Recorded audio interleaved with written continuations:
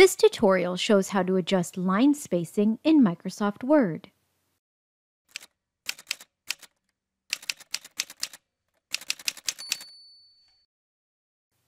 Hello, my name is Erin.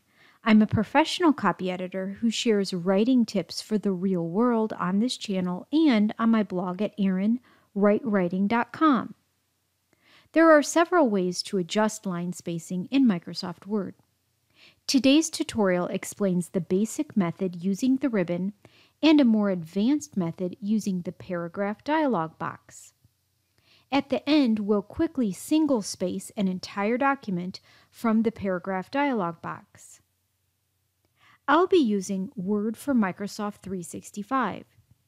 The steps are the same in Word 2019 and Word 2016 and similar for Word 2013 and Word 2010. However, your interface might look slightly different in those older versions of the software.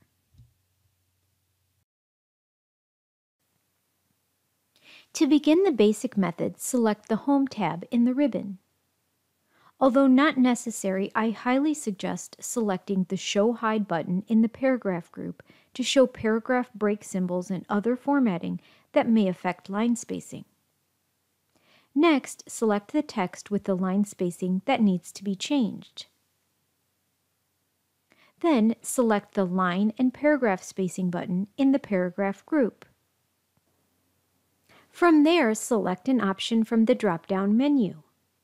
The numbers 1.0 through 3.0 add space between lines. Add space before paragraph and remove space after paragraph adjust the spacing above and below paragraphs, but does not change the spacing within paragraphs.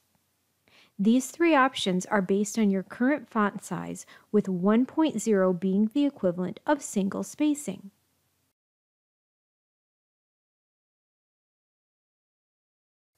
your changes will be applied immediately. Note that you can apply the individual line spacing, which are the numbers 1.0 through 3.0, and the paragraph spacing to the same text to further customize your results. If you selected the Show Hide button earlier, you can select it again to re-hide paragraph symbols and other formatting. To begin the advanced method, again select the Home tab in the ribbon. And then select the Show Hide button in the paragraph group if you want to see paragraph break symbols and other formatting that may affect line spacing. Then select the text with the line spacing that needs to be changed. Note that when using this method, PC users can press Ctrl plus A to select the entire document if all the line spacing needs to be changed. However, this includes items you may not want to alter, including headings, tables, table titles, figure captions, tables of contents, and reference lists. Now select the dialog box launcher in the paragraph group, and then make the necessary changes in the spacing section of the paragraph dialog box. The before and after boxes represent the spaces above and below paragraphs measured in points where one point equals 1 72nd of an inch tall. Use the increment arrows to choose a whole number or enter a number with the decimal directly into the box. The line spacing drop-down menu offers six options. Single creates single spacing based on your current font size. 1.5 lines creates a space and a half as large as your current font size. And double creates double spacing based on your current font size. At least determines the minimum amount of space between lines based on the number of points entered in the at box. Exactly creates an exact space between lines based on the number of points entered in the at box. And multiple creates spacing multiplied by the number entered in the at box. For example, if you enter 3 in the at box, your spacing will be 3 times as large as your current single spacing. The final option is don't add space between paragraphs of the same style.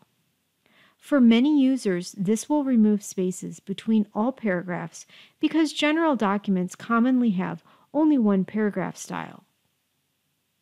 Note that the preview box will update as you make adjustments in the spacing section. Select the OK button to close the paragraph dialog box. If you selected the Show Hide button earlier, you can select it again to hide paragraph symbols and other formatting.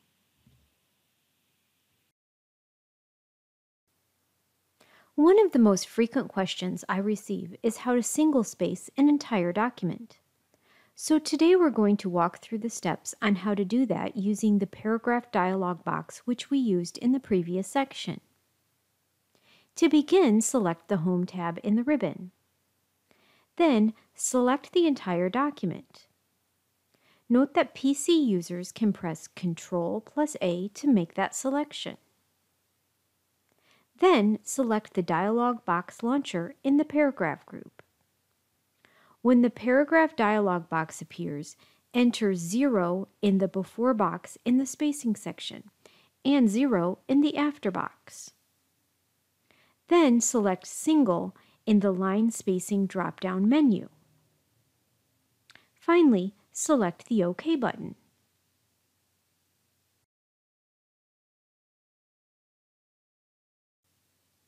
The companion blog post for this video listing all the steps we just performed appears on erinwrightwriting.com which is linked below. Feel free to leave me a comment if there's a specific topic related to Microsoft Word or Adobe Acrobat that you would like me to talk about in the future. And please subscribe to my channel and give this video a thumbs up if you found it helpful. Thank you so much for watching.